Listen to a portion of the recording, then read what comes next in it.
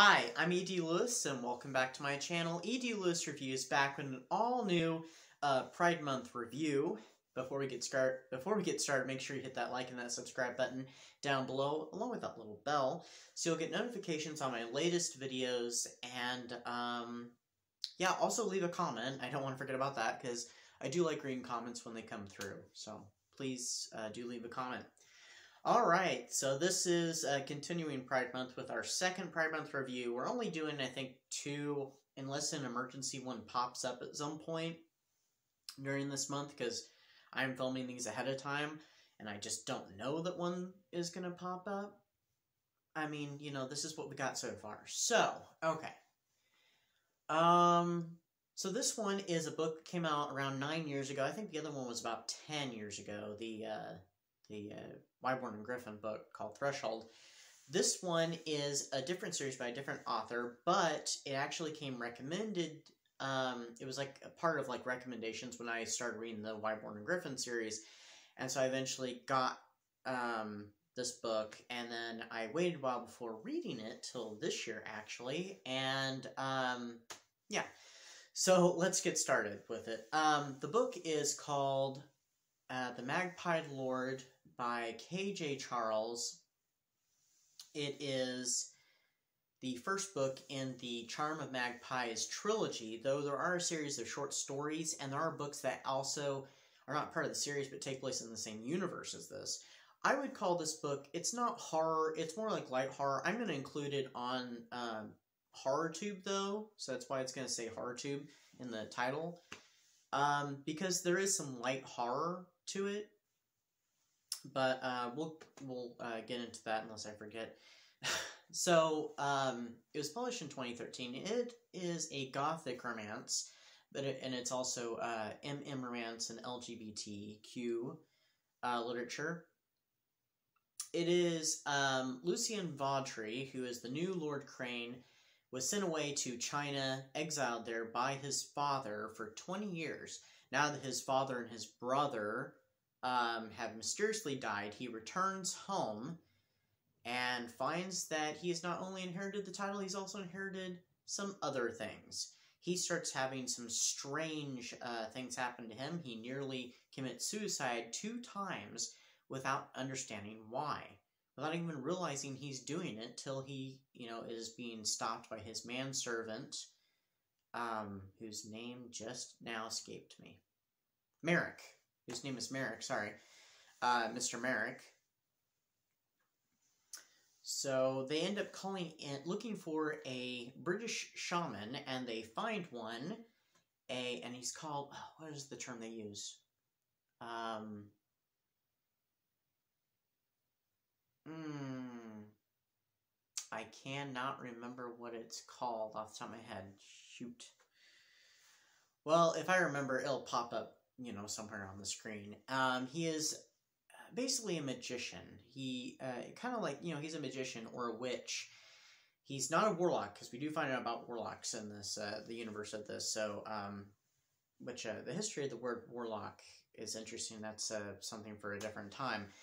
But, um, sorry, I almost thought I remembered that word. Oh, well, it'll pop up on the screen, like I said. Um, so they call in uh, this magician to try and solve the problem, and um, this leads to a whole mystery of who is trying to kill, who, one, killed his brother and his father, and also who's trying to kill him as well. Now, the magician's name is Stephen Day, and um, he's kind of this short, skinny, lanky guy who uh, eats a lot of food, and due to you know using all the magic that he uses, he burns up a lot of calories and has to eat quite a bit, kind of like the Flash in many ways. Um, so they both get entangled in this uh, mystery and stuff, and they find soon that they have quite an attraction for one another, and of course it leads to some pretty spicy bits in the book. Um, there are some really horrific scenes. There's one scene in this uh, book that kind of reminded me of a scene from The Ring. Um, and it involves hair. And that's all I'm going to say about that. But it was really disturbing and frightening. There's even some funny moments, especially with that.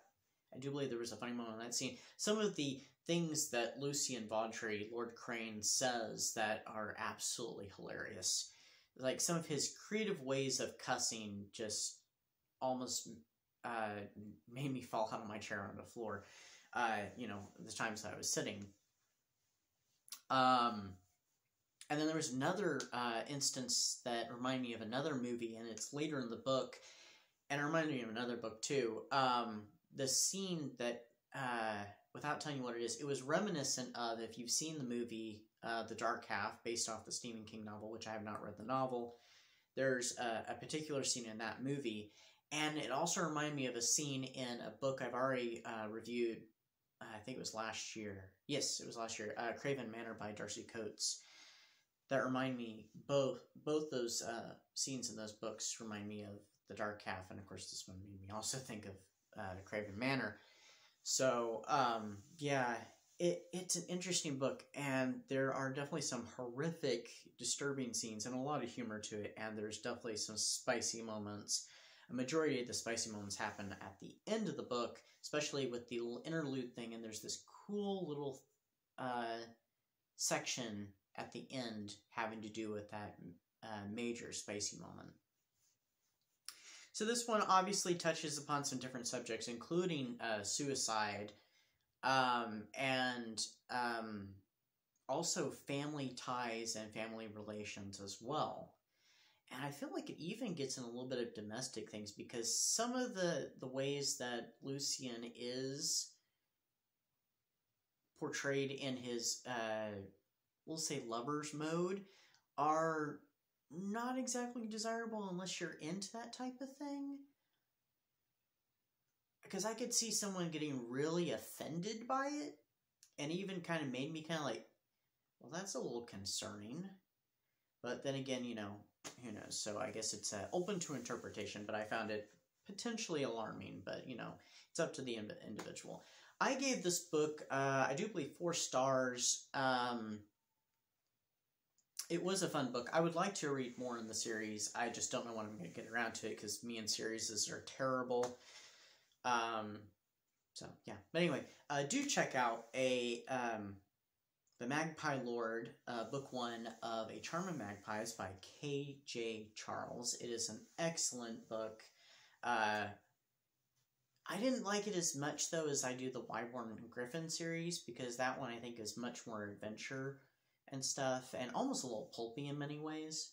But um, it's all it is a fine book, and uh, if you're definitely looking for a little bit of smutty romance, there is a little bit in there. So do check that out. And I hope everybody's having a great Pride Month, and I'll see you all soon with another review uh, very soon. So uh, happy Pride, and have a safe month, and uh, stay spooky, and I'll see you soon. Bye bye.